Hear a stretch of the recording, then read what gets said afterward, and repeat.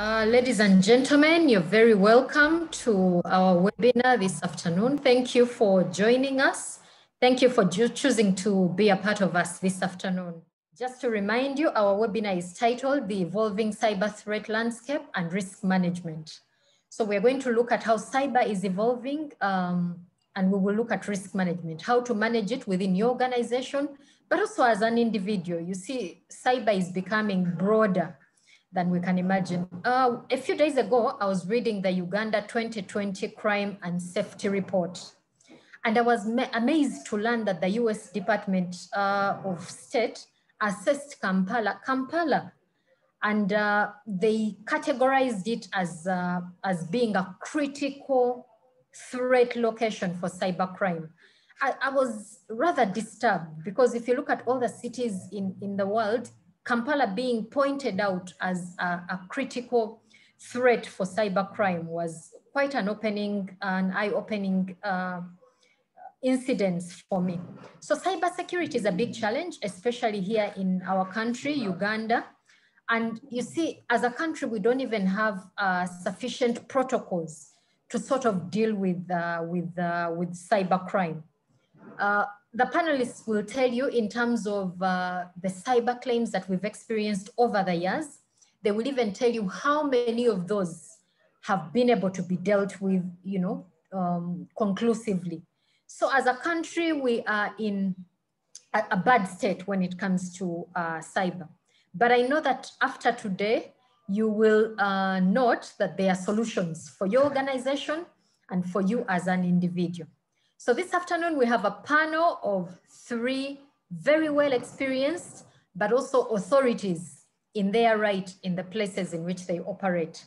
So this afternoon, we have uh, our first panelist, uh, Mr. Brian Muine. Mr. Brian Muine is an experienced um, computer and information security person. He will tell you a bit more in detail about himself. But uh, his uh, topic that he's going to handle today is the evolution of the cyber threat. He's going to break it down for us. He's going to help us appreciate how cybercrime happens and how it's evolving. You see, the thing about cybercrime is it evolves over the years. These criminals are actually very creative. So it evolves over the years. So uh, uh, Brian is going to be uh, handling that. Welcome, Brian. And uh, our second uh, panelist will be Mr. Noah Balesamvo. And Noah is going to be talking to us about cybersecurity and resilience. I'm sure as an organization or as an individual, you'll be interested in knowing how to build resilience for cybercrime. So Noah, uh, you're very welcome. And we have our head of operations for Minet Limited, Miss uh, Winnie who has many years of experience in risk management. So she'll be talking to us about cyber risk management. I know for sure that Minet has got a lot of experience when it comes to risk management. And I know that specifically Winnie has handled quite a number of cases.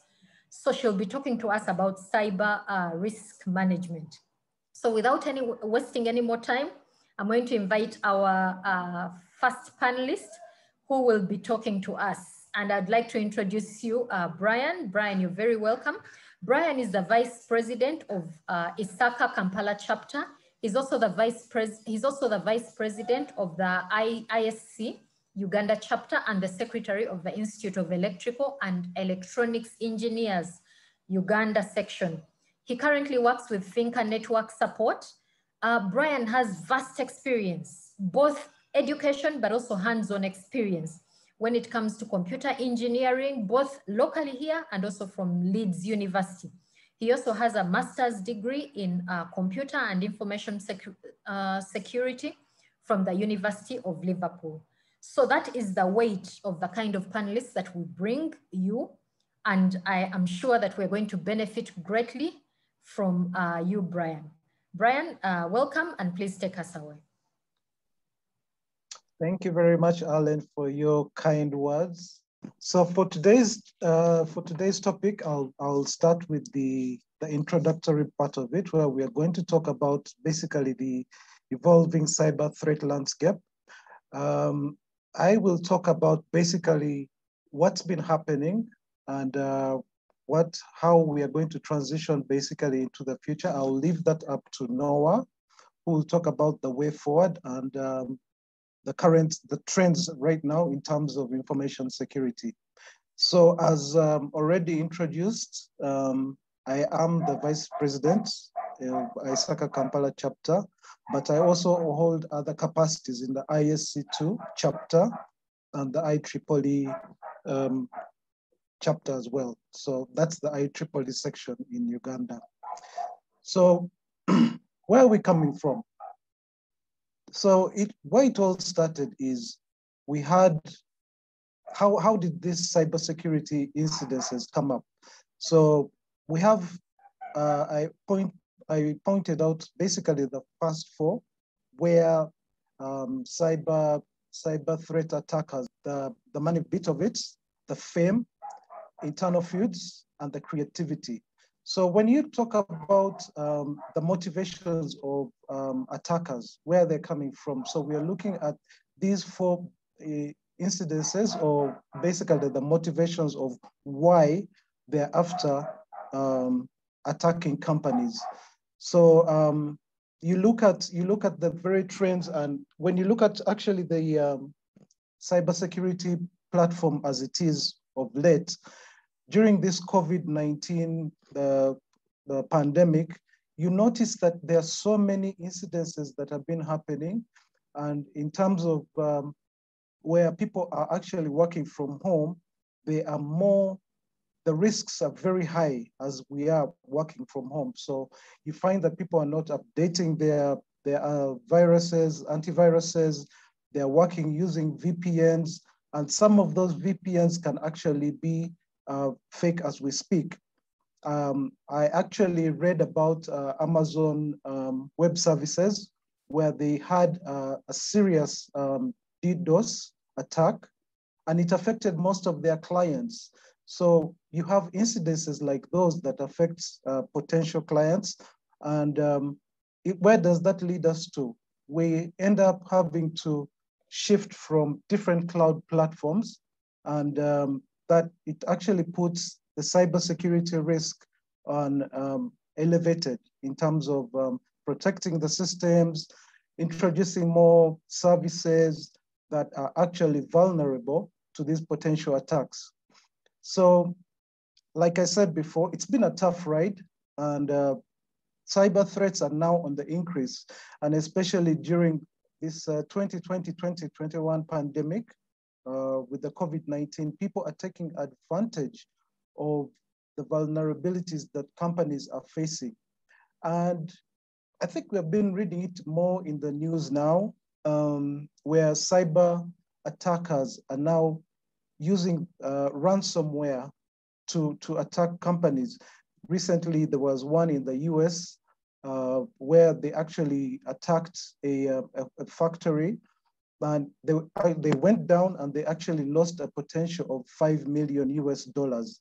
And that was just in one, one day.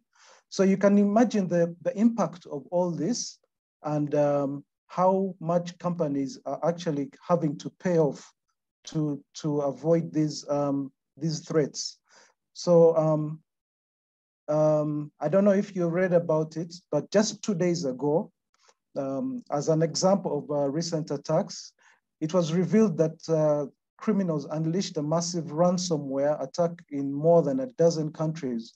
And um, it was affecting 1,500 organizations around the world, including supermarket chains in Sweden and schools in New Zealand. So this is just a brief of what is happening right now and the potential of what the attackers can do and how much it's, it's uh, affecting um, the companies and how much they're having to pay, uh, which is actually becoming illegal.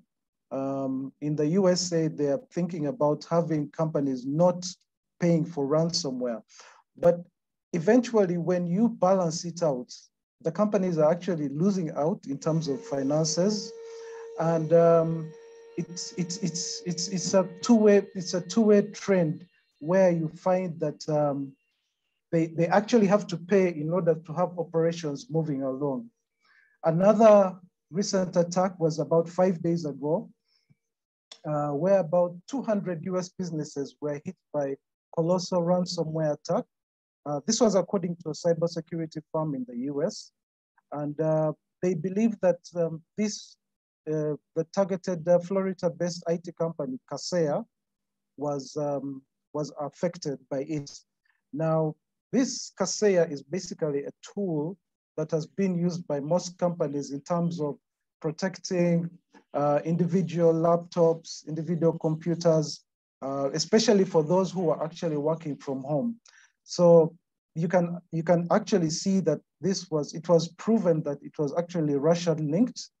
Uh, it was Russian linked to the evil REvil uh, ransomware gang uh, that is based in the US. Um, and when you look at the current attacks, um, the, the, the most affecting one is the ransomware. And why I insist about it is you look at attackers who are basing, they're, they're looking at their motivation is money and the platform that they can actually use is ransomware where they know that they can have companies um, having to pay for, for, for, for the damage that they have done.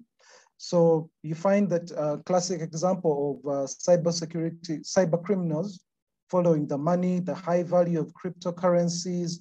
And, and when you look at it um, in the modern day and age, everyone is turning towards uh, cryptocurrencies. But unfortunately, they are also vulnerable in a way The cyber attackers are getting cleverer and cleverer, and they're using artificial intelligence, machine learning to actually um, get hold of these cryptocurrencies and um, you end up you end up having people who are losing money in it.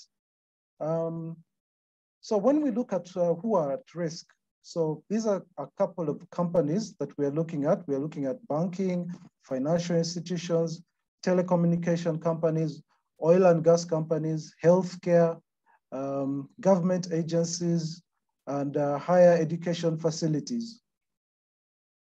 Um, and in terms of uh, these current attacks, most of what um, attackers are using are basically social engineering. As much as it seems um, something very simple, um, many users are actually falling prey to social engineering. And uh, it, as, as we all know, the human factor is always the weakest link whenever it comes to information security. So you have social engineering becoming a successful attack vector. Phishing emails, they are a popular mechanism, often, often carefully targeting senior executives or finance departments because they know that those are the most vulnerable. Um, but it's not only email which um, the attackers are using as well. And most employees can be tricked using phone calls. So you receive a phone call, and you eventually fall prey to this social engineering using phones. So when they receive these phone calls, sometimes you end up revealing um, information that is, um, is, is, is, is, very critical for companies. And uh, once they use that, you, you eventually fall prey to social engineering. Um, another current attack right now, like we're talking about, that is actually picking up a lot of weight is cryptojacking. And with the, like I mentioned previously, with the rise of Bitcoin and other cryptocurrencies, there's, um, there's a rise in cryptocurrency mining. And we're talking about um, hijacking, uh, which is uh, basically cryptojacking. It's a kind of hijacking where someone uses your computer to mine for cryptocurrency without your consent. So hackers normally do this by sending malicious links or infecting an online website or an advert with code that begins with mining the process. So it's, it's actually picking up, it's becoming a trend, unfortunately. And uh, the vast amount of money that um, car, uh, companies are losing is one is actually through this crypto jacking as mentioned before. So um, without much ado, I will pass on the second bit of uh, my presentation to Mr. Noah, um, who will talk about the rest of the topic, which is uh, evolving the landscape of uh, cryptocurrencies, uh, sorry, with uh, crypto attacks. So over to you, Mr. Noah. Um, th thank you very much, uh, Brian. Thank you. That was a very enlightening presentation. I hope all our attendees found it enlightening. Thank you, Brian, for bringing to light the different ways in which cyber you know, attackers come to us. You know, sometimes innocent emails and innocent phone calls can, can turn out to be extremely dangerous. So thank you very much. I just wanted to communicate that you can use our Q&A section or the chat to ask any questions and those will be passed on to the panelists. We'll have a Q&A time where, where panelists answer all your questions. So please use those spaces. Uh, thank you very much, uh, Brian. Now, our next panelist is uh, Elder Noah Bale Samvu. So Noah is an ex has extensive experience in the technology space. And Noah has uh, dealt with both the banking sector, with the technology, with the telecom sector, through different corporations, talk of MTN, talk of ZTE, talk of the different banks. He's quite served in different spaces in that area. He has served as the founder, managing partner, and lead consultant at Com Computer Forensics Consult Limited. And uh, he also currently serves as the National Information Security Advisory Group Chairman. He also serves on the SAT for the no Northern Corridor Infrastructure Projects. Noah is a thought leader, really, if you ask me about Noah in the space of cyberspace. Personally, I call him uh, an expert or I call him a thought leader when it comes to that space because you could ask him about anything. He's consulted with banks, he's consulted with uh, telecoms, he's also consulted with the different uh, uh, organizations that you can talk of. Currently, uh, Noah is the founder and also head of strategy at Crypto Savannah, uh, which is a blockchain and emerging technologies firm. I hope that he will spare one of his last minutes to just, you know, demystify blockchain but I will leave that up to uh, uh, Noah. Noah, you're very, uh, very welcome. And uh, please, please take us away.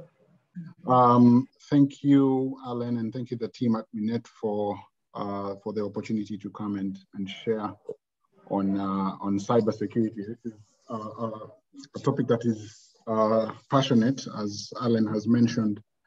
Um, I've been in cybersecurity for the past almost 16 years. And, um, and, and, as, and as Brian has said, it is continuously evolving. Uh, the risks that we used to, to, to face back in 2003, 2004 are completely different from the ones that we face today. And, uh, and as long as there's value, there will always be criminals looking for value. It's, it's, it's unfortunately a, a, a human trait, whether the, the, it's just that the tools have changed. Um, so just to pick up from where Brian had uh, left off, um, so Brian talked mainly about uh, the threats, which I'll just touch on, but before that, I just wanted to, to go to the basics because sometimes we understand cybersecurity and cyber resilience differently. And so even, even when um, I was approached to, to, to, to speak about uh, risks in uh, to do with cybersecurity and cyber resilience, just even going down to the definition, uh, there, there is there's, there's a different understanding uh, of the two terms, cybersecurity and cyber resilience. So I just wanted to, to, to set us off and, and, define what that is. And so uh, cybersecurity is basically under the most layman terms of understanding, it's basically defending uh, cyber attacks. That's what cybersecurity is. And so it's all the investment you make to protect your systems against unauthorized and, and exploitation uh, by attackers. Um, this is usually done by, uh, uh, you know, uh, the three main groups that are involved, as Brian has mentioned, in in um, in, in cyber threats or, what we call cyber attacks. Are you know, there's what there's the cyber crime.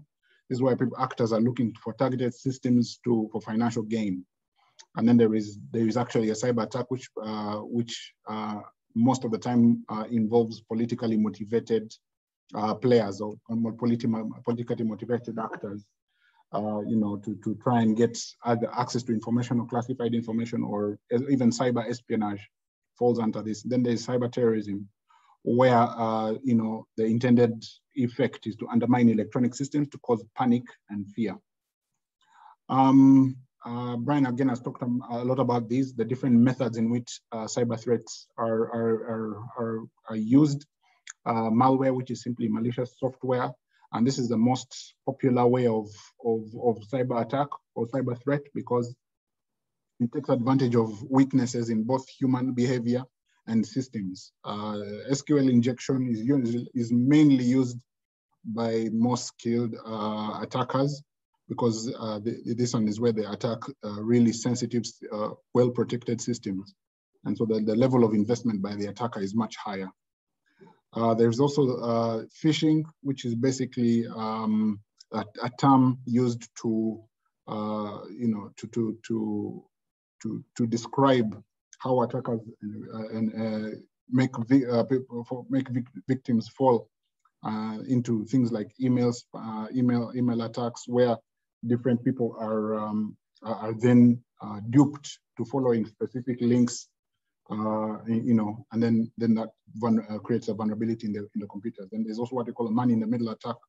Here, the example is if you go into uh, an, an, open Wi-Fi without any sort of security, you, you know, installation in your devices, someone can come in between you and the Wi-Fi and the internet using, through an unsecure Wi-Fi and start sifting through your, your, your, your traffic. And, and, in that process, they can uh, access sensitive information. And there's also what we call a denial of service attack. This is whereby uh, the attackers just want to make sure uh, that, that your, your, your services do not run. And so they either flood uh, your online services with a lot of um, traffic so that you know it, it grinds your network to a halt. So what are the principles of good cybersecurity? Just to move the conversation forward. So after understanding what the risks are, what the threats are, how do we protect ourselves? What are what are good things to live by uh, within your organizations? And I, my, my belief is that good principles of cybersecurity are hinged on these three main aspects. Uh, uh, and so it's around people, processes, and technology. Uh, in my experience, uh, organizations are very quick. If they are savvy, they are very quick to go for technology because that's a simple plug and play. I buy this software, I buy that software, and then there's a false sense of security. And then when there's a breach, there's usually all those accountabilities like, but we paid for this, but we paid for that. And so one of the statements that I'd, i always leave uh, when making this speech is that um, cybersecurity is not a tool. It is not, it is not a piece of software. Cybersecurity is a practice. It's a culture. And we'll speak about that a bit later. And so what are the three pillars of good cybersecurity in terms of trying to implement it within an organization? The pillar, which I feel is the most important pillar of cybersecurity is the people. Uh, and so the best thing an organization can do is hire the right people and get them trained. So this uh, aspect, this pillar, uh, you know, revolves around the recruitment, the training, the deployment, and the retention of people within the cybersecurity function of an organization and that's uh, and and once they are well trained and well uh, ex, uh, and, and well exposed to all this new research and development, they're the first line of defense for any cyber attack. Um, the next, an organization needs the right processes and policies in place to make sure that uh, to facilitate the protection of information, of the information structure, uh, infrastructure, and critical business systems. So you must have the policies. So it's, it's one thing to have the people, but you have to have the policies and the procedures that these people enforce, that you enforce within your organization to, to, to, foster, to foster a culture of good cybersecurity practices. That's, then after that is when the technology comes in. The technology comes in to augment the processes and the people that you have within your organization. And so in terms of order, that is how it is. You start with the right people, give them the right processes and policies, and then implement the right technology.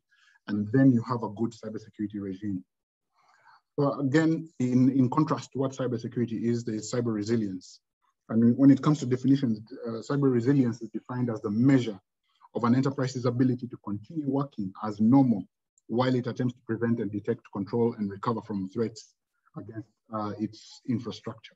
And so uh, while cybersecurity is the defense or the defense from cyber attack, cyber resilience looks more inwardly towards the organization to, to, to see and to ask the question, how quickly can we recover from an attack? Or even when we are being attacked, how can we make sure that the organization still runs and serves its business goals while the attack is being uh, controlled and recovery mechanisms are being put in place. So these work in hand, hand in hand. So you have good practices for cyber security while implementing good practices for cyber resilience. And then a good, strong cybersecurity framework is what is needed within companies to be able to identify bad actors, to, who could gain access to your network. So it's also all good to understand the risks, and, and Brian has done a good job of doing that. Understand what the, what are the potential risks my organization could face externally, and what can I do internally to make sure that I'm resilient to these attacks. And so good principles of good cyber resilience are hinged about international, there are many standards that one can use, but they all revolve around these main five uh, uh, principles. Number one, to be able to identify your critical assets. Uh, I've spoken to many organizations who do not know what their vulnerable information is. Uh, protecting the IT, the, the servers is not is, is not protecting the information. Put a, putting the server room under lock and key is not necessarily good, uh, uh, keeping your information secure. So it's, a, it's good to understand what your critical information is and then classify it as such. After you have identified your critical information, you then protect it. Uh, you protect where it is hosted, you protect the information itself, how it is transmitted, and where it is stored. And so you protect the, the, the creation, transmission, and storage of the, of the information. And then, of course, once you've identified your critical information and you're protecting it, put mechanisms in place to detect any suspicious behavior. So this means you benchmark your normal behavior and then set up your equipment and processes such that any any suspicious events are stick out as a sore thumb in order to make sure that you're detecting it. Then after you've detected it, you should have mechanisms to respond. And so what are the failover, uh, you know, the, the, the, the, what, are, what are your breach mechan uh, you know, uh, processes? If you detect that you've been attacked, what are the, what, what's your incident response plan? So all these things are then, the, uh, you know, articulated and put in place within the, your response uh, um, principle. Then after that, of course, you need to also think about recovery. What is your disaster recovery plan? What is your business continuity plan? All that comes under recovery, where you restore the infected infrastructure. By restoring means that there was also in place a backup and uh, um, regime where your most recent information can be found. And so once you implement these five principles, you are then uh, on your way towards having good cyber resilience. And so when you compare the two, uh, cybersecurity and cyber resilience, one way of thinking about it in a simplistic way is that uh, the cyber resilience involves accepting the fact that no cybersecurity solution is perfect or capable of protecting you against every possible form of cyber threat. What is, uh, and this is why every company needs both aspects of cybersecurity and cyber resilience. The cybersecurity strategy is designed to minimize the risks of attacks uh, get coming through, while cyber resilience makes sure that you have the right strategy in place to keep you moving, even though you're under attack.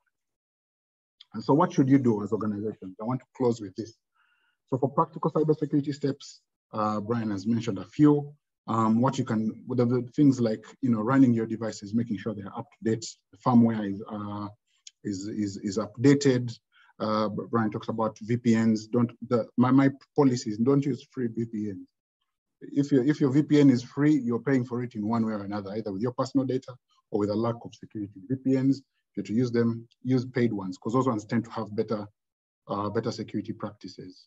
Of course, your software must be updated. Don't use pirated software. If you've downloaded your software and you don't have, uh, uh, you've not purchased it legally, then it is vulnerable to attack. And that can not only expose you and your personal information, but your organization's information. And then also ensuring that employees at all levels, not just the, the, the, the IT people, but at all levels are educated in the, in, in the potential threats uh, of cybersecurity.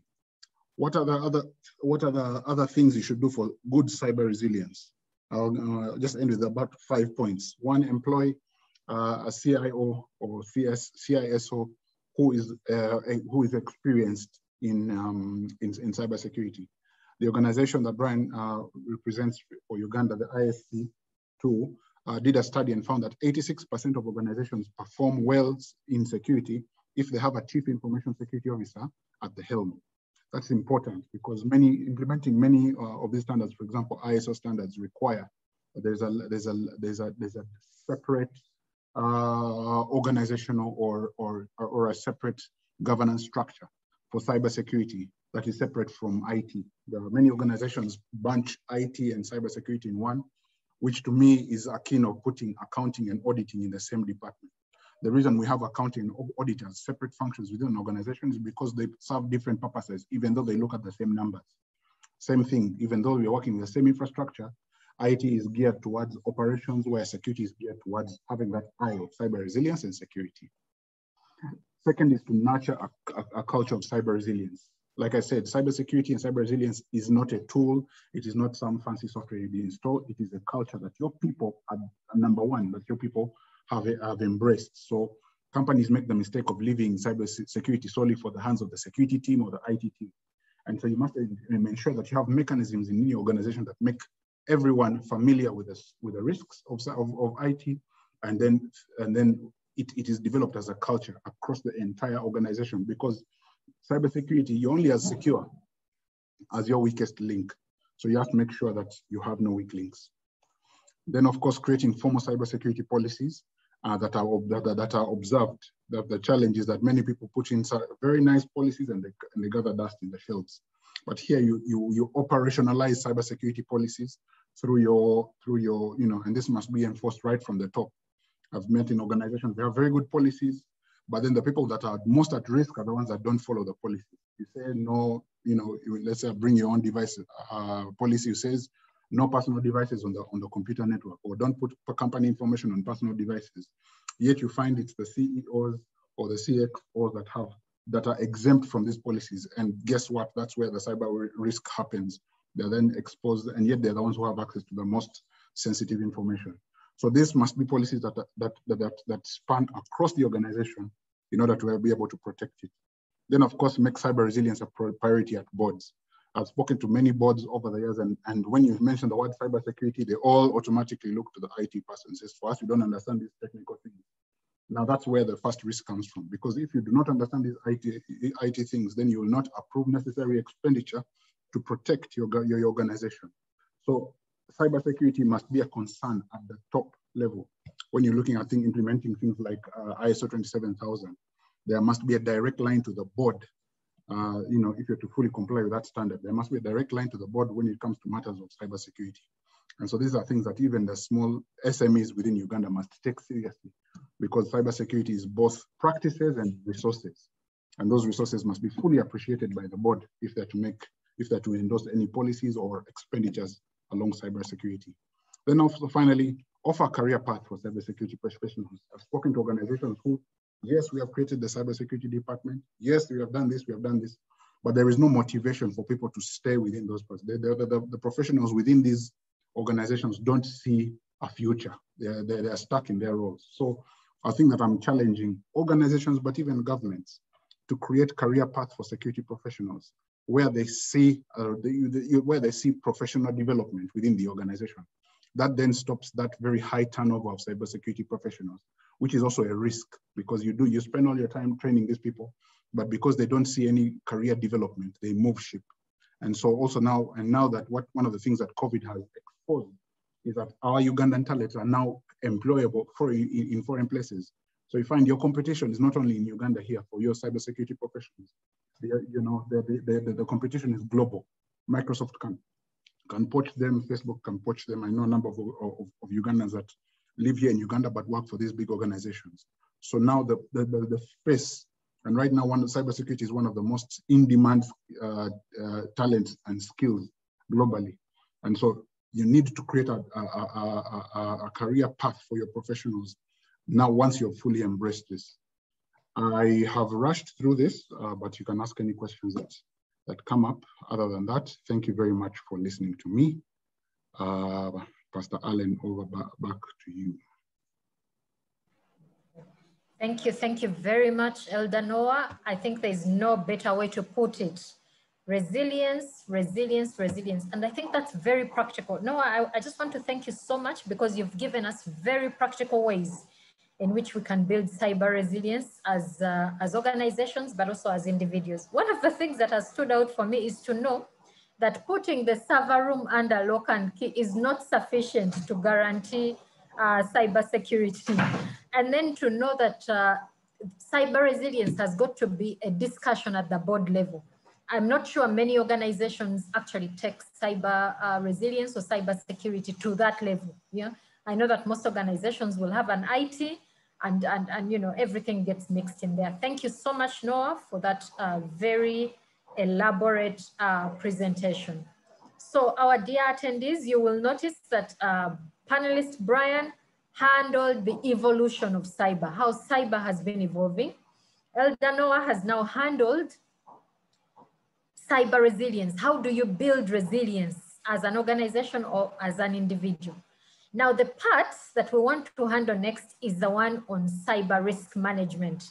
And who else is better placed to talk about cyber risk management than a person who works uh, in a risk management firm or who's a risk manager themselves? Ladies and gentlemen, allow me to introduce our next pa panelist, uh, Ms. Winnie Chiwuwa. Ms. Winnie Chiwuwa is the current Chief Operations Officer at Minet Limited, you will note that Minet Limited is a trusted Pan-African risk, reinsurance, and human capital advisor. I know that many people on this call have experienced services that have been given by uh, Minet. Winnie has experience in excess of 20 years. She's been in the risk management business for over 20 uh, years. And she's built experience in underwriting, in claims management, and in risk management itself. So Winnie has got broad experience. When we talk about broad experience, it means she has dealt with telecoms, she has dealt with banks, she has dealt with manufacturing companies, she's dealt with education institutions, she's dealt with different sectors within the economy or within the uh, country. I know that Winnie is also um, uh, um, a senior associate of the Australian and New Zealand Institute uh, of Insurance and Finance and she's also a member of the technical committee of the Insurance Brokers Association of Uganda. So that's the kind of experience that panelist Winnie uh, brings on board. Winnie, uh, you're welcome and over to you. Um, thank you, Alan, uh, for such um, a great intro. Uh, good afternoon, ladies and gentlemen, friends and, and colleagues.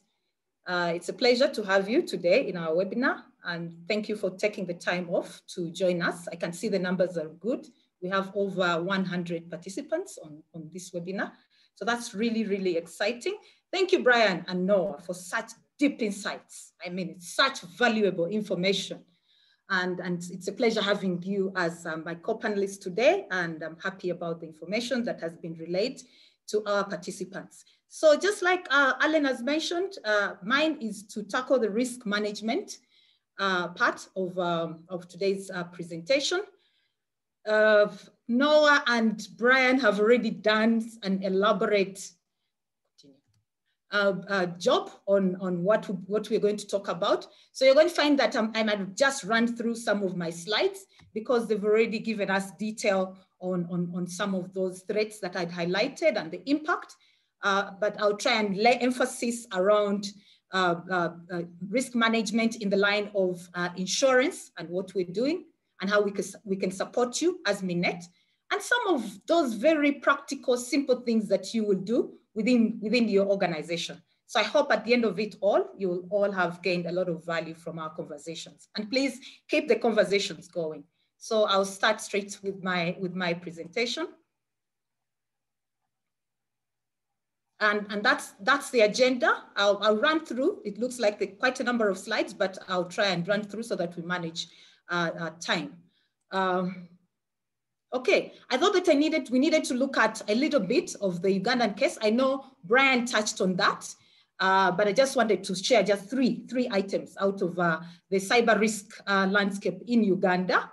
And this I picked from the African Cybersecurity Report Uganda 2019-2020, of which Brian and, and, and Noah actually contributed. If you go and read that report, you're going to find those two gentlemen and, and they contributed to that report. So in case of any detail around that report, again, we have uh, Brian and Noah on, on the call.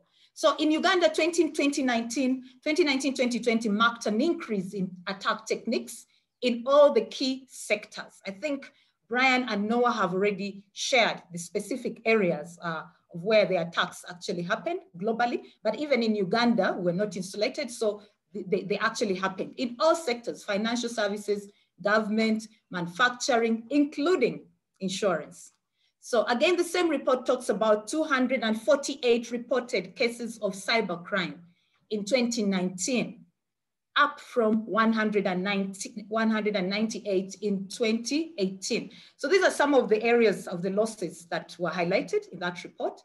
Business email compromise, which I've already been talked about, the social engineering, fraudulent SIM card registration. I think this drives home to many of you.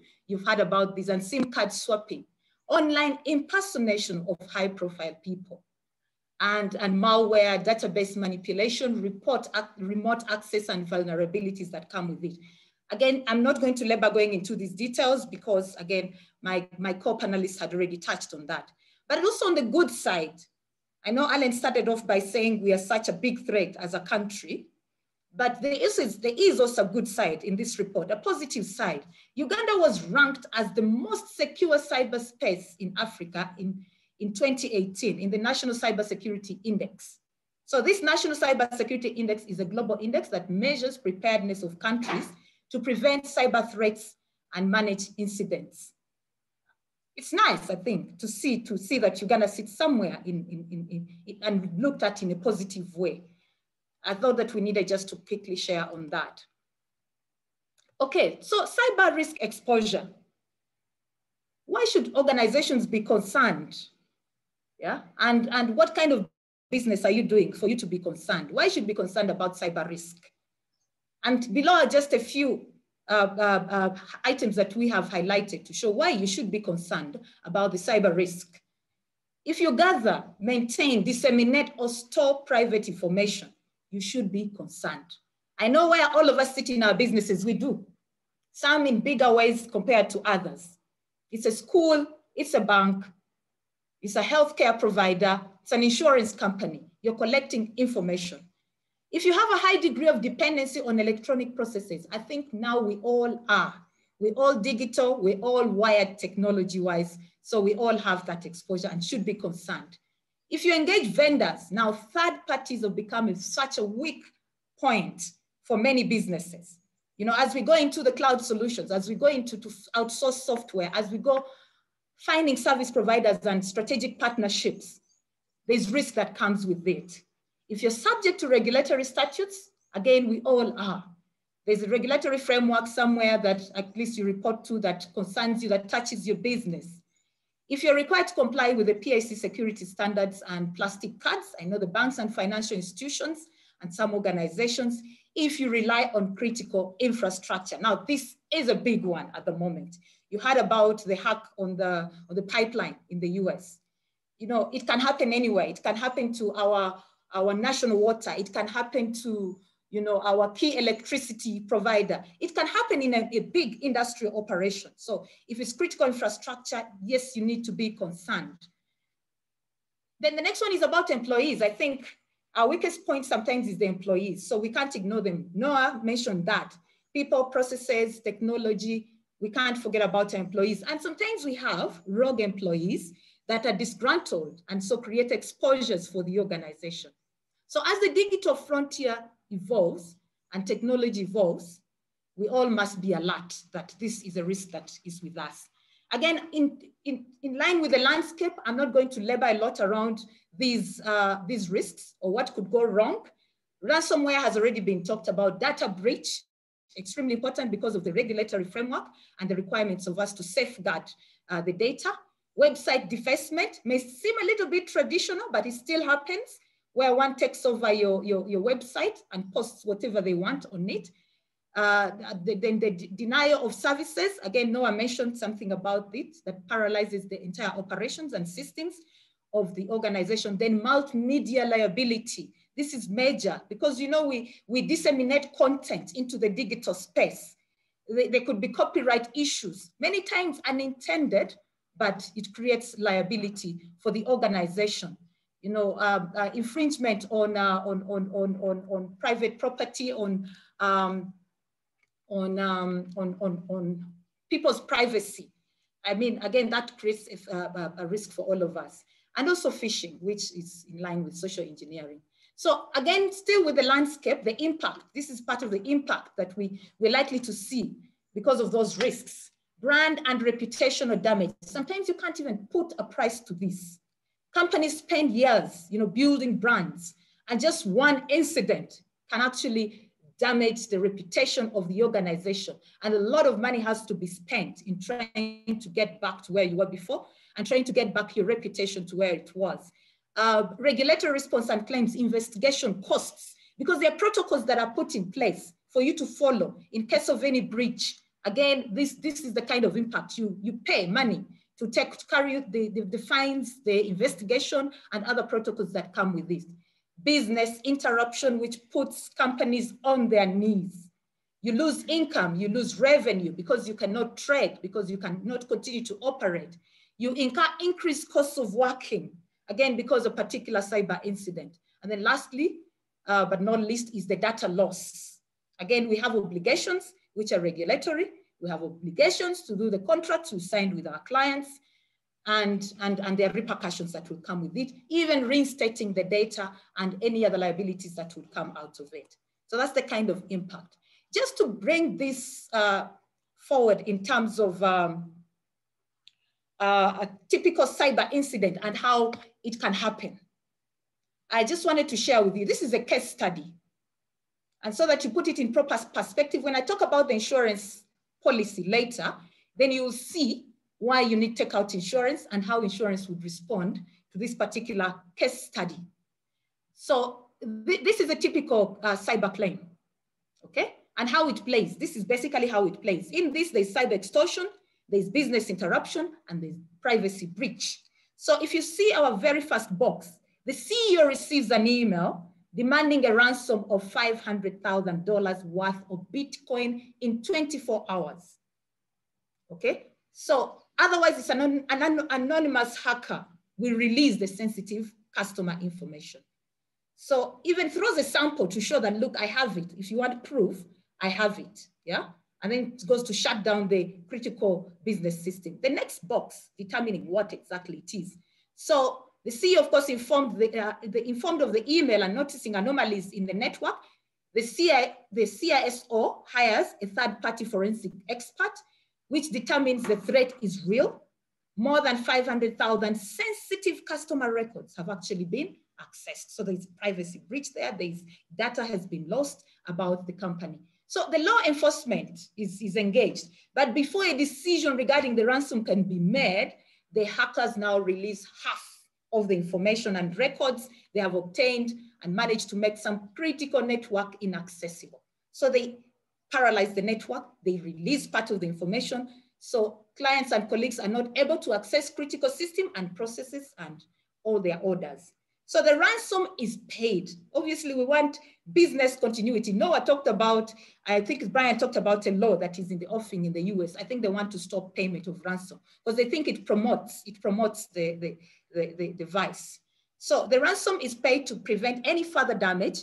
Legal counsel is hired to assist in the notice to individuals impacted by the breach and monitoring also is offered. Another vendor is hired to handle the public relations campaign. So you can see already costs have started stepping in. And the critical system remains down for 10 days. This is business interruption. So it's impacting customer orders, general business operations, significant costs are incurred for loss of income, expenses related to the outage and to get the business back into operation. This is all business interruption. Then two weeks later, uh, there's a breach notice went out. A class action suit is filed alleging failure to properly protect private information. So clearly you can see all of them at play. The extortion, the business interruption, and the privacy breach, all in one.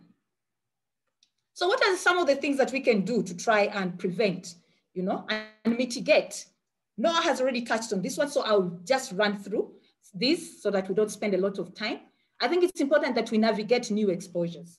As you move into, uh, we have this rapid digitization, remote working, we need to continuously assess the exposures, continuously, and I'll use that word continuously. So it can't be a one-off event. It has to be done, you know, severally over a period of time. Assemble data security teams. I think the people, it's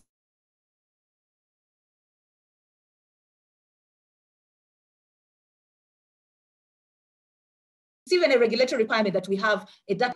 So what data I think, what do, do you understand the threats to the company? Third parties who are processing the same, the same, the same information, are they aware of the obligations? So understanding the law is important and both local and foreign. You, you know about the GDPR and then of course our data protection act here locally. You have to develop data protection privacy policies. Noah talked about this, again, to manage the risk. Then train, test, update, and monitor all your policies. Cyber hygiene, we need to emphasize your employees must be aware. They must be able to detect. They must be able to say that this is a potential a risk or a, a hack to the organization. Then controlling hardware and software. Noah talked about this, protecting our, our hardware, protecting the software as well. The software supply chain is becoming a critical area, carrying out penetration tests and vulnerability studies and reports. And of course, you need adequate business resilient measures, which Noah has already handled very well. If you're going to respond to a ransomware attack, you, you must have the controls in place, first of all, but you must be prepared so that when it happens, you're in good, you know, you're good to go. You know, a good cyber response plan would really help.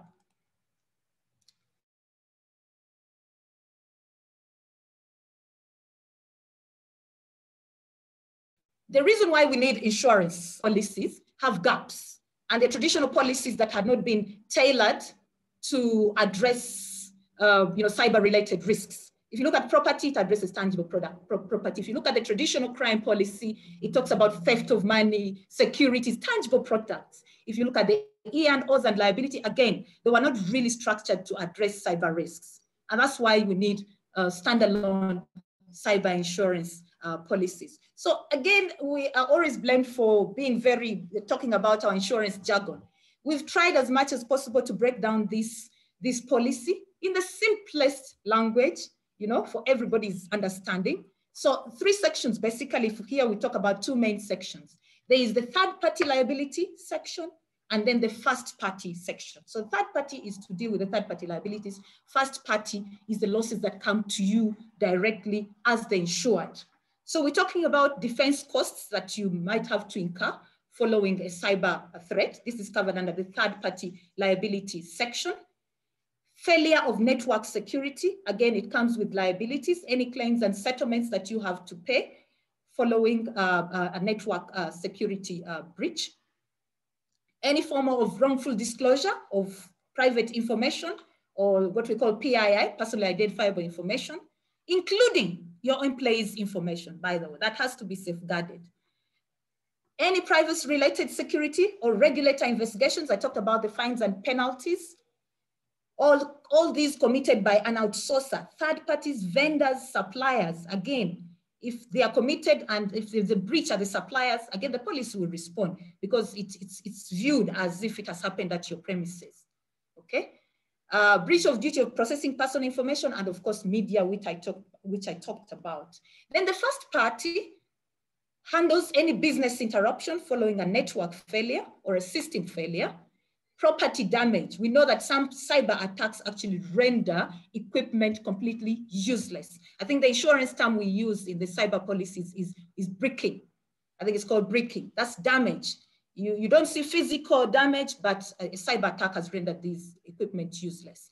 Data restoration costs of putting back the data, of corrupted data, and then e-theft. Again, this is a big one, and many, many people tend to have suffered around this area in terms of fraudulent funds transfer, phishing, social engineering, where they steal your identity and are able to steal your money, uh, you know, using uh, trickery uh, through your accessing your information. Employee sabotage, which we talked about, and of course, extortion, which is a big thing at the moment uh, globally. As I mentioned earlier, I think cyber insurance is not an indemnity policy, largely, I'll put it that way. It's not an indemnity policy, it is a service policy. Most of the time you want the services rendered to get you back into business.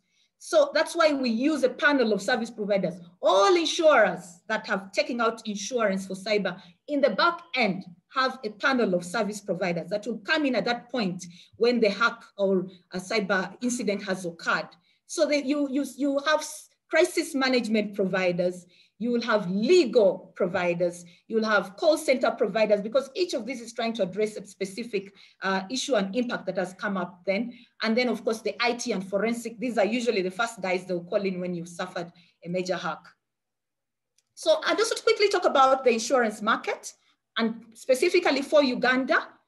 In Uganda, we, we, at the moment, we don't have an insurer who has the reinsurance capacity for it or has taken out what we call a treaty, but we are all feeding into the Lloyd's market through a fronting arrangement. Sanlam is fronting the AIG policy. AIG in the past, when they were still operating here, they had, uh, they had a, a, a, policy with a treaty.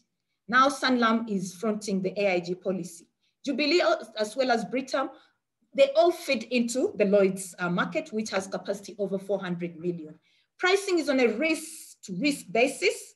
So, and, and insurers use sometimes pre-risk tools, you know, to assess your risk. So every, it's not one dress fits all, every risk is unique.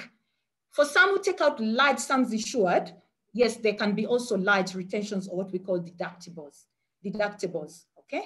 Underwriting submission, again, you'll be asked about uh, your business overview, your operations, your IT, the security of your organization, the vendors that you deal with, if you're operating any point of sale. Basically, they want to know the entire ecosystem of your organization. Uh, and of course, there's always the assessment to find out how much uh, you're likely to lose in terms of valuing uh, your cyber risk. And the business interruption is based on EML, maximum probable loss of what you're likely to lose, and your loss history, if you have any in that space. So this is the Minet approach, and this is my last slide. Uh, Minet approach, we as your brokers, we work on in, in, in a collaborative uh, approach. It's not that cyber is very specialized. So it's not an off-the-shelf product that you can pick and sell, like, you know, a motor policy. Very, very specialized, regard, requires a lot of engagement. That's why for us, we call it a collaborative approach for Minet, so that they can help you to analyze, to identify, to analyze the exposures, and then explain to you the available uh, alternative solutions that you can take. Sometimes these solutions are actually not insurance solutions, but you can use the services of other providers to help you with what Noah was talking about to achieve cybersecurity and cyber resilience. We also support you in terms of submission and development. I've said it's a very complicated market. So you need the services of an expert to hold your hand, to help you, to support you through the entire process of, of underwriting and making sure that you submit favorable underwriting information to present to the markets. Then we have market leverage. Of course, through our network of Aon as a correspondent broker, we have access to some of the best markets in Europe in the Lloyd's market. So we're able to get good policy work wordings for our clients and to negotiate favorable terms and aggressive pricing from these insurers. Of course, we are part of the strategic negotiations, again, to make sure that we, we, you get a good deal and we're ultimately able to meet your required goals in terms of risk management. Our claims capabilities, I think, are known. We can always share this information. We work with you on post-incident services uh, through a panel of providers but also support you through the claims process, which is usually driven by those service providers, but we're there all the way and support you through any interactions with the loss adjusters. And lastly is of course, cutting edge solutions. We look at the end-to-end -end solutions. I told you earlier is that a collaboration. We can uh, support you in the risk assessment or risk identification process in working around the risk mitigation and then helping you with portions of your risk that you can insure, but also helping you with a post-loss uh, solution in case you suffer any loss. And of course, because the risk keeps evolving, we move with you as the risk evolves and are able to support you all the way. That's why we call it the end-to-end -end value chain uh, risk solution from Minet. I think that's it from my side, Alan. I hope it was not uh, a rush. I was trying to manage time. Um, yeah, thank you again for this opportunity to present to you. And I look forward to your questions, your comments. Back to you, Alan. All right, thank you very much, uh, Winnie. If we were in an audience, I would say a round of applause, but we are where we are. Winnie, thank you very much. I think after Brian talked about the evolution of uh, cybersecurity, and then uh, Noah came in and talked about cyber resilience, I think the question that was lingering in our minds was, are there solutions?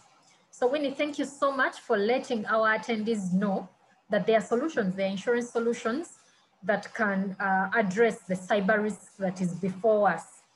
Uh, please allow me, we will go into a moment of uh, Q&A. Emmanuel Joshua Mugume, I see your hand up. I will give you an opportunity later, but let's just have uh, a round of questions. I'll start with you, Brian, and uh, two questions to you.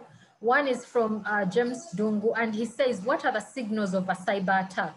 you know, apart from the IT personnel, the ordinary, you know, staff, how do they get to suspect that that's a cyber attack and, and, and deal with it? That's number one uh, for you, Brian.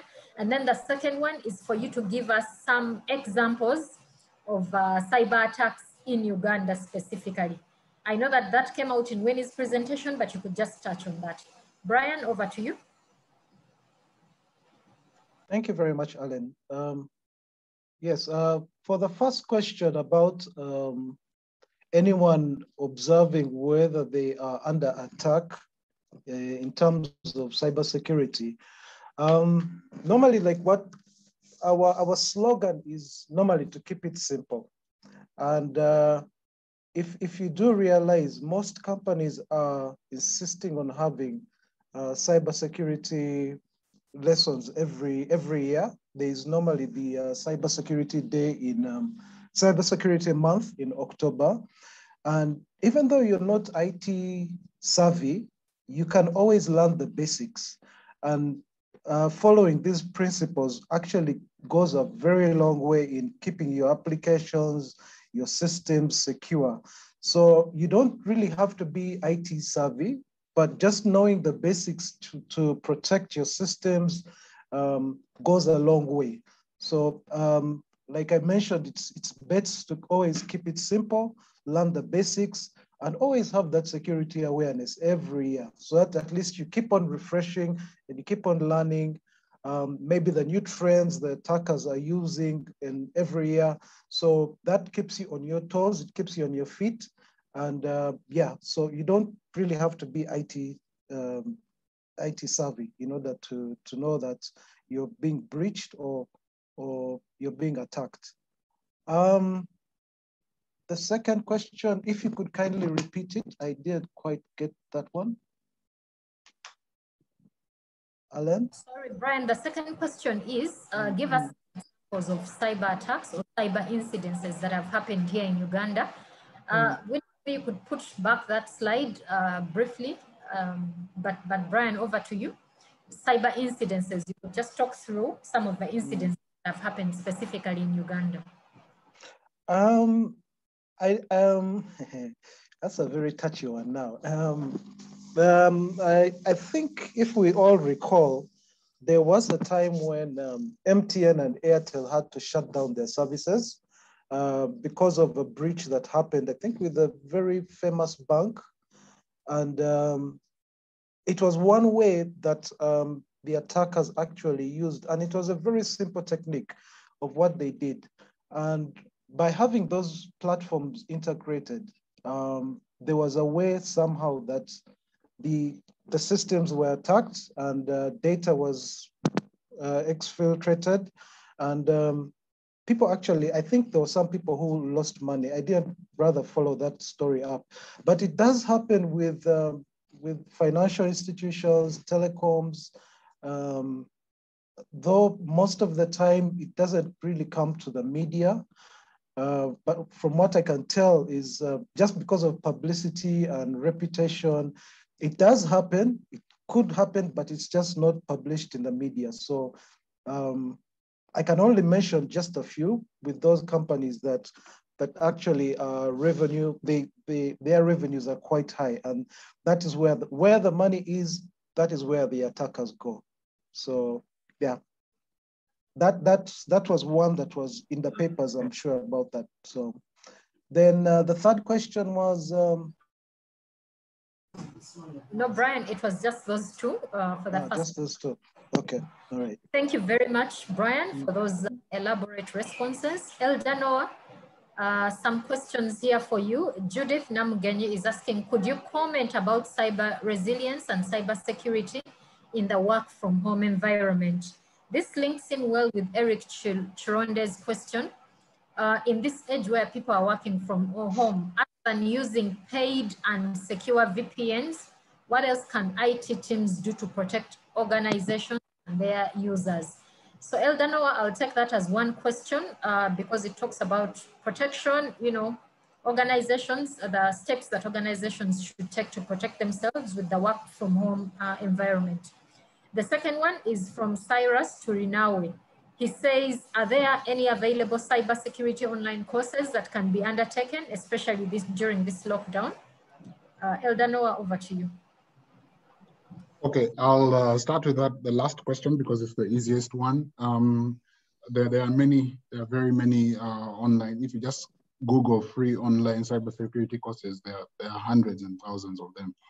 Uh, the platforms I would recommend are things like edX or Coursera. Those ones usually have either very cheap, very low cost courses or, very, or free courses. Uh, there's even SANS, uh, S-A-N-S, S-A-N-S dot O-R-G, also has uh, free cybersecurity courses. So you can just go there and, and, uh, and, and, get them. On the work from home uh, dynamic that is now prevalent, one of the one of the key things to understand uh, both as stakeholders or as business operators is that um, the, the, the, threat landscape has widened, uh, and this is particularly for the techno for the for the technical people, because the threat landscape has widened. Whereas you'd only need to protect your corporate information within the confines of your office. Uh, I know many organizations that you, you, you only have access to the corporate office when you're physically in the office. Now, many organizations have to extend that corporate office to the last mile where now people have access to that at home. And so the first thing that was mentioned in that question also was the use of VPNs and don't use free VPNs for crying out loud. Free VPNs, you're always paying for it one way or another, either through lack of security or through your personal data. And so I always an, an advocate, if you're an organization, there, there are VPNs at different price points, but make sure you're paying for the VPN. Then secondly, many of these um, tools and operating systems that we use are now being upgraded to facilitate for work from home. I can speak for, uh, you know, confidently for, uh, you know, platforms like Microsoft, of which many organizations use. Uh, I, I, you know, many of your computers run Windows and your IT and, and your IT managers uh, do you use group policies. Uh, you know, this is, these are policies that are, that are, that are deployed at a corporate level so that you can control how people access information within an organization. Many of these have been upgraded to facilitate from work, work from home. And so just upgrading that or just finding out more information about that can go a long way in helping secure. But then I'll always fall back to my number one weapon against cyber threats. My number one weapon is knowledge. And Brian has emphasized this quite a bit. Get information. Cyber hygiene is now like, you know, is it's it's a no-brainer. In this day and age, what COVID has done is that it has accelerated digitization, but with the acceleration of digitization comes with the acceleration of cyber risk because many organizations to keep their doors open to continue operating, they had to quickly digitize. And the, this speed was so high that they did not consider uh, security. So the security design for work from home is completely different from the traditional work that we know. And so your first layer of security is, is, is knowledge. Get information about uh, cyber hygiene, um, I, I, know Minet, you, the, you can access uh, resources through Minet. I, I, also wrote a book on cyber hygiene. You can access through the Minet system. And so just get your people knowledge about uh, cyber hygiene. That will go a long way in protecting your staff. Other than that, the rest are now technical implementations that the IT team can do, uh, you know, to, to better protect uh, uh, people who are working remotely. Uh, thank you, Elder Noah. I think he has emphasized the knowledge, the need for knowledge very well. So uh, panelist Winnie, the next set of questions goes to you. Um, kindly clarify what ransomware is and how it happens. That will be your first question, uh, panelist Winnie. And then the next one is from your experience uh, dealing with cyber insurance, what's the uptake uh, in the Ugandan market? Panelist Winnie, over to you. Okay, uh, thank you. Thank you, Alec. I'll start with the last question. And I request that the first question, I send it to the experts eh? because I believe explaining ransomware requires, you know, the expert uh, detail. I'm in insurance, but I understand the risk. I understand how it works. I think I'll request either Brian or Noah to support me on that. But I'll just quickly talk about the last question, uh, really about the experience, my experience on uh, cyber insurance in Uganda. I'll tell you uh, uh, very openly, the uptake is still very low. And I'll tell you why. One, it is the awareness. I mean, it took, it's taken a while for people to understand and comprehend that they're sitting with this risk right in their offices.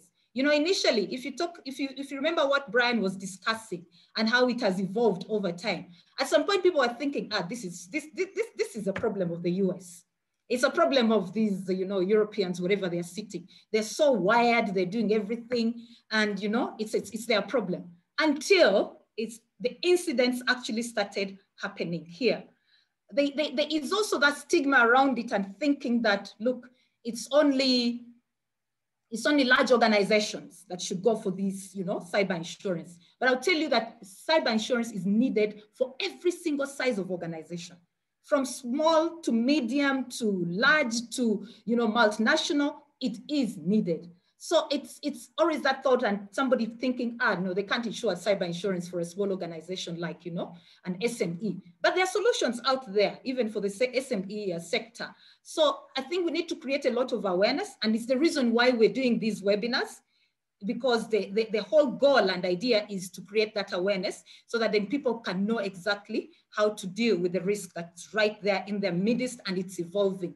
I mean, this lockdown opened again a lot of eyes for people to see the vulnerabilities they are facing as they work remotely and things that they were taking for granted. Even a simple Zoom, if you go for the free one, you remember what happened with some of our our, our, our colleagues uh, where the, the, the, meetings were hacked and they were displaying very unpleasant uh, you know, information. So that awareness is extremely important. So it's, it's, it's the role of organizations to build that awareness. I think it's the role even of our governments, you know, to build uh, that, that awareness. The experts out there, you know, people like Brian and Noah, they're here to support the whole process so that then we get to understand what we ought to be doing in terms of our cyber security, cyber resilience, but most important, understanding that it's a risk that we're living with uh, all of us and we need to do something about it in terms of risk management. Thank you, Alan. Hope that helps and answers the question. Yes, it does. From my end, thank you very much, uh, Winnie. Uh, Brian, this will be your last set of questions. I, we are stretching it a bit, but we are about to close. So the panelists will just do one round of questions and then we'll have the parting shots. Uh, Brian, to you, for somebody who is aspiring to acquire cybersec skills, what is the market like for such talent in Uganda? And then number two, how does an IT guy get the board to realize that cyber security is an important discussion at board level? Brian, those two are yours. Okay, um, in terms of uh, cybersecurity skills, um, it's, it's not only locally, but it's a global trending knowledge area. Um, I mean, we have been hearing reports about how globally there are about 400, um, 9, 9 million, there are 9 million uh, free jobs uh, globally. Um, people are trying to protect their systems and they definitely need the skills to do that um, there are various ways that there are various skill sets you can learn from cybersecurity. Um, in Uganda, the demand is high, especially like I mentioned with the financial institutions, with telecom industries. Um, the market is out there and that is, is, is, is a fact. That is, that is how it is. Um, and it's a global, it's not only local, but it's a global requirement that you have to have a cybersecurity or information security personnel within your um, within your enterprise or your company. I think uh, Bank of Uganda is making it a recommendation that every financial institution needs to have someone on board, skilled, qualified to actually protect the systems because they know the vulnerabilities they, that banks face and uh, the need to have those skills on board is definitely high, as in it's it's a must. That's that's how Bank of Uganda now sees it. I don't know about insurance companies. Uh, personally, for myself who works in a financial institution, the risks are very, very high. Then uh, question number two was um, about, um, sorry, question mm. for somebody who wants to acquire skills in cybersecurity, what's the market like? Would you recommend somebody goes ahead Is the job market ready? Are Ugandans appreciating cybersecurity experts? Uh, to answer your question, yes. Cybersecurity, cybersecurity personnel are required in every kind of company or enterprise, um, like I've previously said. So the skill sets, you can start at a very basic level. I believe uh, Noah also shared uh, some links. I shared a link of where you can start. Um, there, there are very many applications that are out there that basically need to be protected. You've got Microsoft applications. Everyone is now trying to move to the cloud. Cloud skills are needed very, right now, there are so many companies that need people with cloud security skills, cloud administration. And that's the way we are going because technology evolves. And the more technology evolves, the skills you, you need to have the you need to acquire those skills to actually protect your systems. So yeah, um, my answer to that is yes, we do need the skills in Uganda. And it's you can start at a basic level. Um, uh, we have shared the links in the chat. And uh, if you have the passion, if you have the zeal, uh, you can you can take it to another level. And yeah, that's the best I can say. Thank you very much, uh, Brian. Elder Noah, your next set of questions. Uh, one is with the COVID challenge uh, in the country. What, how has it affected uh, uh the increase in cybercrime? How has the COVID challenge or the, the outbreak of the pandemic affected the, uh, uh, the cybercrime? That's from Maurice Amogola. Uh, the next one is from James Dungu. James is really pleading with you, Elder Noah, to have the government come up with a policy that can ensure that all companies operating in Uganda have uh, in place cyber insurance to cover them as a must. Elder Noah, over to you. Okay. Um, of course, like I mentioned earlier, uh, because the, the pandemic uh, and the subsequent lockdowns, the pandemic didn't cause increase in cybersecurity. It's the, it's the, it's, a, it's the subsequent lockdowns. Now, because people are locked down in their homes, uh, the, the internet usage increased and there was increasing pressure for businesses and organizations to avail work resources or work tools or work facilitation for people to be able to work at home. Now, mainly this was fulfilled through digital tools. And so because we are working, there, there was an increase in digitization. Uh, uh, the, the, the, classic example I usually give, which might sound like a joke, but it paints the picture. Uh, Uganda had desired to use a video conferencing for meetings uh, as a country, at least as government, back in 2007. I remember the time in 2007 they were launching, no, actually 2006 when they were launching the, the national fiber backbone. And one of the features that it was supposed to facilitate was for uh, MDAs, ministries, departments, and agencies to be able to communicate using video conferencing so that we don't have to come into meetings. That was the desire back in 2006. Now, you know, almost 20, you know, 20 something years, you know, many years later, that was never reality. But in the first three weeks of the lockdown last year, the entire government was working on Zoom. It took three weeks because of COVID. It took three weeks, something that Uganda had taken 15 years and failed to implement. So what, that, what does that tell you? The COVID pandemic and the lockdowns are increased digitization, but because of the accelerated way in which the, the digitization happened, not many organizations had time to go back and think about the security practices and regimes that need to be in place to make that uh, you know, secure. And so what we also see is that with the same increase in digitization, there was an increase in vulnerabilities and the cyber attacks also increased. This whole ransomware wave we are seeing now, it's not new. We have had ransomware for very many years. Uh, I remember, you know, going and trying to help organizations in Uganda almost 10 years ago, just dealing with ransomware. The reason ransomware has hit the organization is, is, is becoming hot cake now is because every system is remote. There's a lot of vulnerability and not sufficient protection of these systems. So of course, when there is no, when there's an increase in digitization and lower security, all these risks are going to come out. So it's not a new wave. It has always been there. It's just that more and more people are falling victim to it. And so that's, that's how the pandemic has affected. And like I mentioned earlier, the remedy is number one. And, and we have been singing this song, let's always make sure we are aware. Awareness is number one. Cyber hygiene is our first layer of defense. Secondly, uh, like I mentioned, make sure you run, don't run pirated software. If you're using any uh, pirated software, just know you're already vulnerable. If not, you've already been hacked. Number two, make sure your, your organization, I've worked, uh, I've seen organizations, uh, which is really sad, very well-to-do organizations. And then when someone powers, you know, switches on his computer, you see Windows needs to be activated.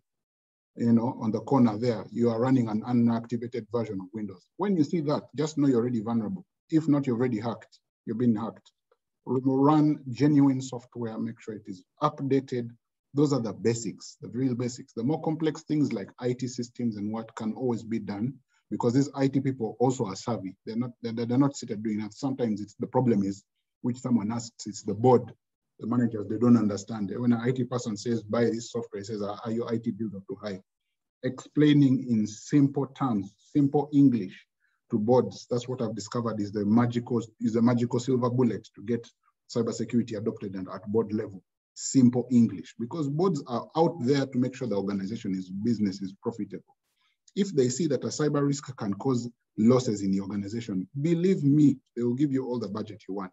Just speak in plain English. Don't go there with IP, VPN, CG what, all those complex things just make people shut off. Simple English where they understand the risk and impact to business is what makes you win with boards. Thank you, Elder Noah. Simple English, simple English, simple English. Uh, panelist Winnie, your last set of questions. Two, one is how can somebody access um, cyber insurance? And then number two, is it affordable? Uh, uh, thank you, Alan, and thanks for those uh, two questions. Uh, one is how one can access cyber insurance. You can access cyber insurance through uh, a broker risk, who is your risk advisor, like Minet. So if you want to how to navigate and understand how cyber insurance works, you can come to us. We'll be able to support you and, uh, and, and walk you through what the whole insurance entails. We can also do sensitization in case you need even a wider group of people that needs to have the buy-in. We can always come in and help you to, to, to work around that so that it makes the whole buying process much easier. So please, yes, you can access a cyber insurance uh, through Minet because we're able to link you to the various underwriters and be able to benchmark and compare solutions that are being offered by the different markets. Okay, the second question, uh, Alan, sorry, just quickly remind me. Uh, the second question is, is cyber insurance affordable? Oh, very uh, dicey, very tricky uh, question. Uh, I'll just, I think I shared with you about the markets. Uh, currently, we are relying a lot on onto the Lloyd's market yeah, in, in London. So what happens is that once uh, international markets are affected by big losses, that imp impacts the entire you know, insurance globally.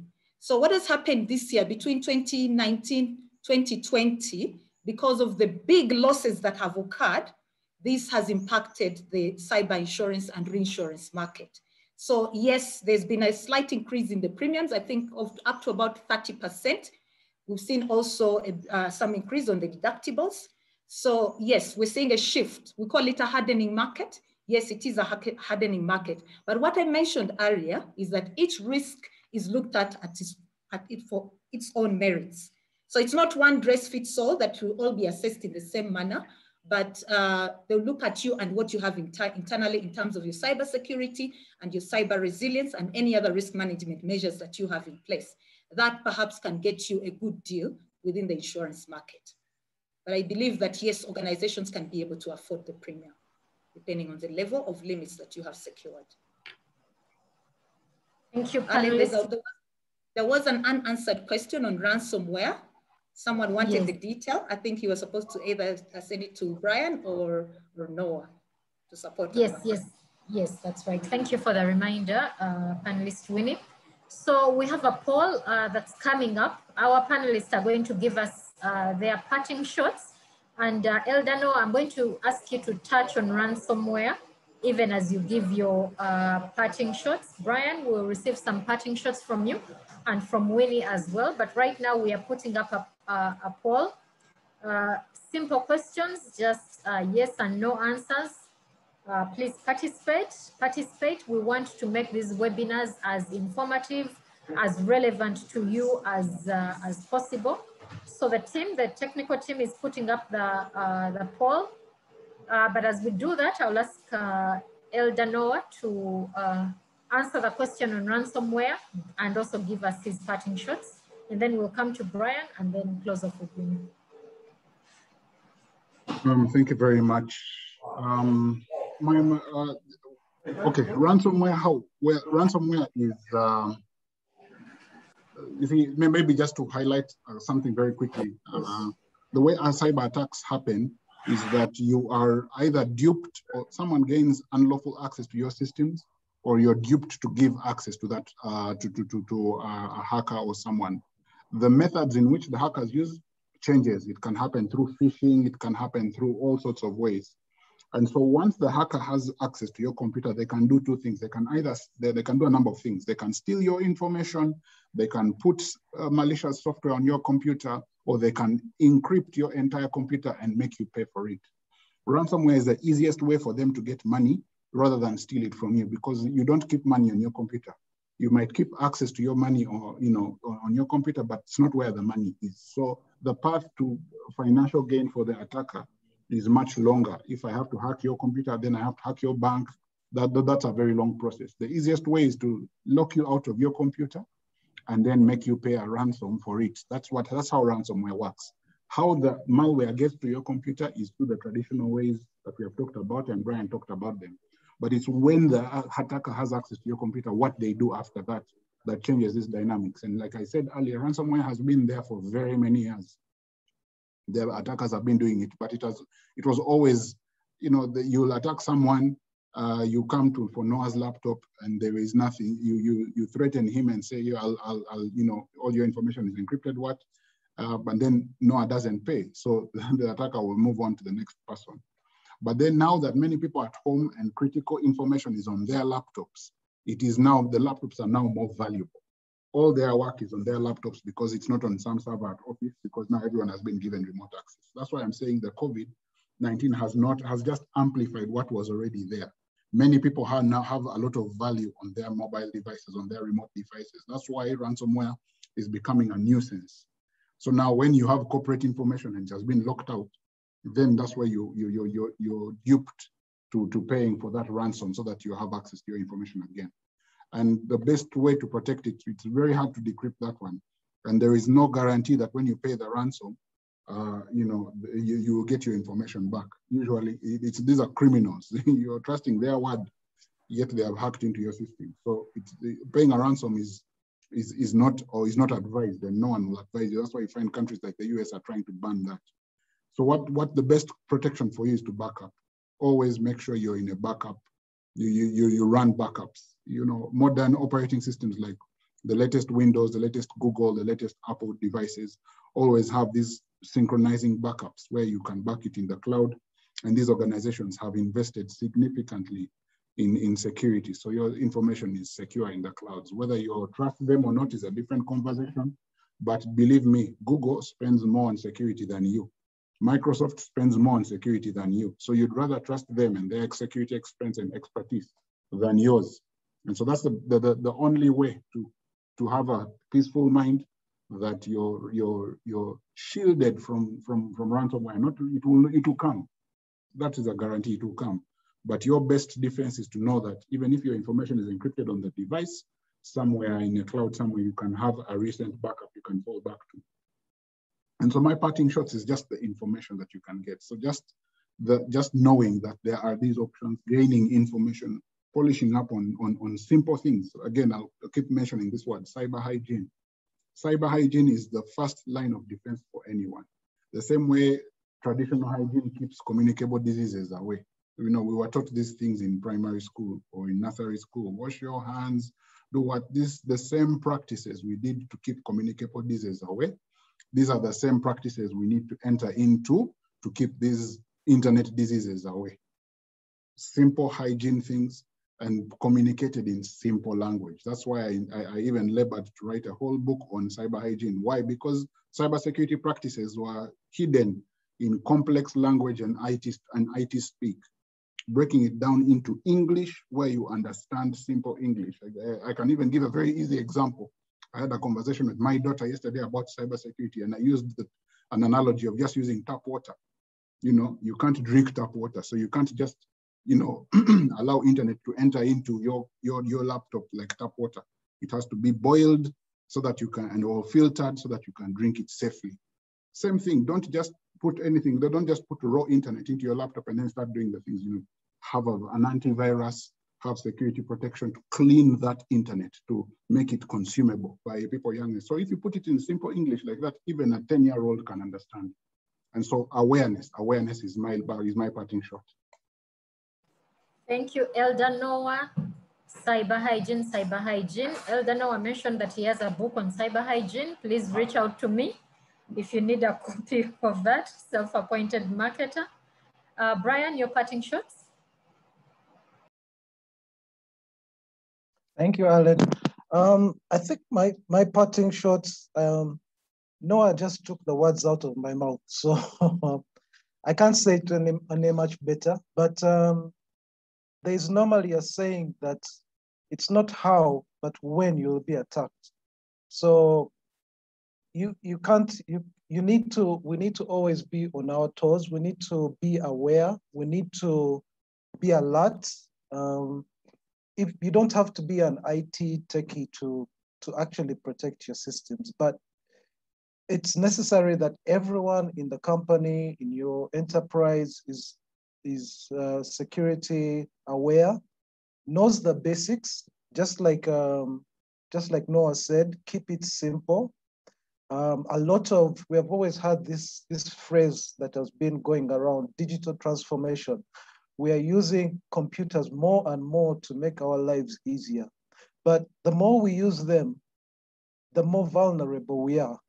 So, and the more the more the more the, the, the attackers are even becoming cleverer at it, at, as in penetrating the system. So it's always to go, it's always good to be on your toes, know what to do right, keep it simple, just follow the security awareness knowledge sessions and you'll be fine.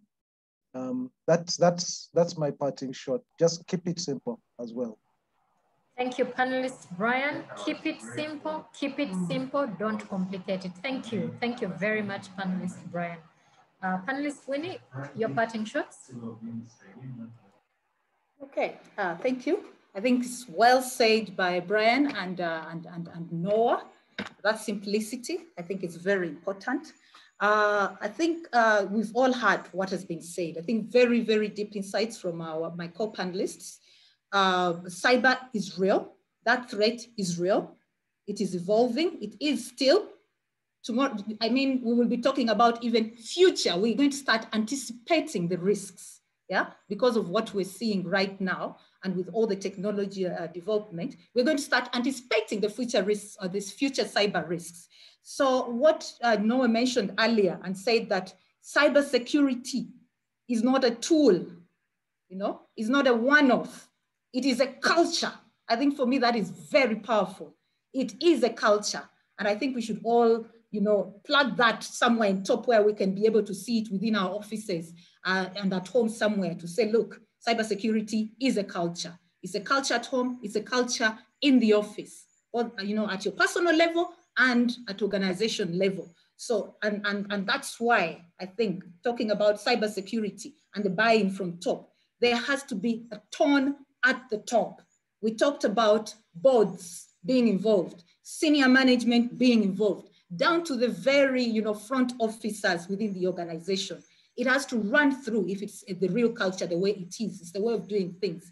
So I'd like to urge uh, all, all officers, board members, anyone in senior leadership, in middle management, please, let's all embrace this risk and make a cybersecurity a culture within our organization.